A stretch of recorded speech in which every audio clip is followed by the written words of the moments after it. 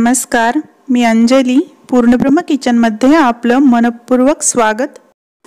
दिवाळी जवळच आलेली आहे तर दिवाळीचा फराळ बनवण्यासाठी तो झटपट बनवता यावा यासाठी त्याची पूर्वतयारी कशी करायची हे आज आपण या व्हिडिओमध्ये पाहणार आहोत. तेव्हा हा व्हिडिओ पूर्ण पहा. कारण जर तुम्ही हा व्हिडिओ पाहिला आणि यामध्ये दिलेल्या टिप्सनुसार जर फराळाची तयारी केली तर तुमचा फराळ बनवण्यासाठीचा कमीत कमी अर्धा वेळ वाचू शकतो आणि ऐनवेळी तुमची धावपळही होणार नाही. चला तर मग फराळाची पूर्वतयारी कशी करायची ते आपण पाहू. टिप नंबर एक आपण फराळाचे कोणकोणते पदार्थ बनवणार आहोत त्यानुसार त्यासाठी लागणाऱ्या सर्व साहित्याची लिस्ट तयार करून घ्यावी. इथे मी मला दिवाळीचा फराळ बनवण्यासाठी जे काही सर्व साहित्य लागणार आहे त्याची लिस्ट तयार केलेली आहे. तर तुम्ही ही लिस्ट पाहून तुम्हाला यापैकी जे साहित्य लागणार आहे त्याची लिस्ट तयार करू शकता. त्यामुळे तुमचा एक एक साहित्य आठवून तो लिहिण्याचा वेळ वाचेल. आणि बऱ्याच वेळेस काय होतं इलायची ओवा खसखस जायफळ असे छोटे छोटे साहित्य जे आहेत ते आपण लिहायचे विसरून जातो आणि मग ऐनवेळी आपली धावपळ होते ते होऊ नये म्हणून ही लिस्ट तुम्ही पाहून तुमची लिस्ट तयार करू शकता. मोहरी जिरे लाल तिखट हळद यासारखे पदार्थ प्रत्येकाच्या घरी असतात म्हणून मी या लिस्टमध्ये लिहिलेले नाहीत. तुम्ही तुमच्या लिस्टमध्ये लिहू शकता? मी ही सर्व साहित्याची लिस्ट डिस्क्रिप्शन बॉक्समध्ये पण देणार आहे. तुम्ही त्याचे स्क्रीनशॉट काढून तुमची लिस्ट तयार करू शकता. टिप नंबर दोन. एकदा सामान घरी आणलं की लगेचच आपल्याला फराळ बनवण्यासाठी ज्या काही बारीक पावडर लागणार आहेत त्या पावडर मिक्सरमधून बारीक करून ठेवाव्यात आणि सुजीच्या चाळणीने चाळून ठेवाव्यात. म्हणजे आपल्याला पदार्थ बनवते वेळी त्या झटपट वापरता याव्यात. यामध्ये पहिली पावडर आहे इलायची पावडर प्रत्येक गोडाच्या पदार्थासाठी आपल्याला इलायची पावडर लागतेच म्हणून इलायची पावडर अगोदरच वाटून ठेवावी. दुसरी पावडर आहे ती साखरेची पावडर किंवा पिठी साखर. करंजाचं सारण बनवण्यासाठी बेसनचे लाडू बनवण्यासाठी वगैरे आपल्याला पिठी साखर लागते म्हणून ती पण अगोदरच वाटून ठेवावी. तिसरी पावडर आहे ओव्याची पावडर तर आपल्याला चकल्या शेव बनवण्यासाठी ओव्याची पावडर लागते. चौथ्या नंबरची पावडर आहे जिऱ्याची पावडर किंवा जिऱ्याची पूड. जिऱ्याची पूड पण आपल्याला चकल्या शेव खारी बुंदी बनवण्यासाठी लागते. म्हणून ही पण अगोदरच रेडी करून ठेवावी. टिप नंबर तीन.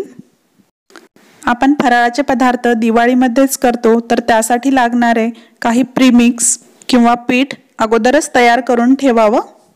जसं की करंजीचा बाकर त्यानंतर चकलीची भाजणी आणि त्याचं पीठ आणि अनारशाचे तांदूळ तीन चार दिवस भिजवून त्याचंही पीठ तयार करून घ्यावं. हे सर्व साहित्य बरेच दिवस टिकतात त्यामुळे दिवाळी सुरू होण्याच्या अगोदर किंवा फराळ बनवण्याच्या अगोदर एक तीन चार दिवसांनी हे सर्व तयार करून ठेवावं. त्यामुळे तुम्हाला फराळाचे पदार्थ झटपट बनवता येतील. टिप नंबर चार. फराळाचे पदार्थ बनवते वेळी अगोदर जे पदार्थ जास्ती दिवस टिकतात तेच पदार्थ बनवून घ्यावेत.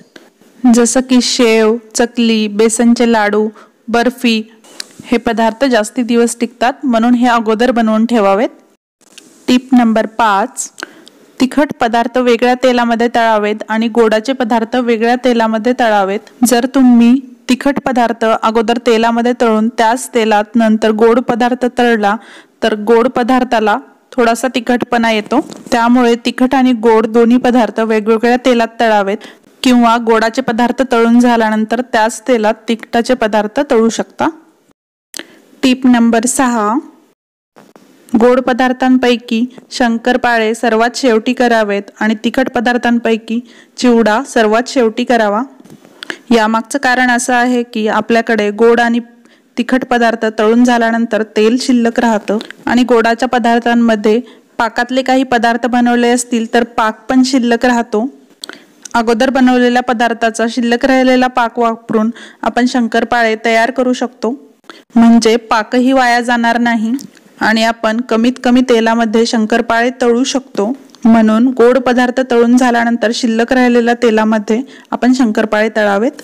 त्यामुळे तेलही शिल्लक राहणार नाही आणि पाकही शिल्लक राहणार नाही.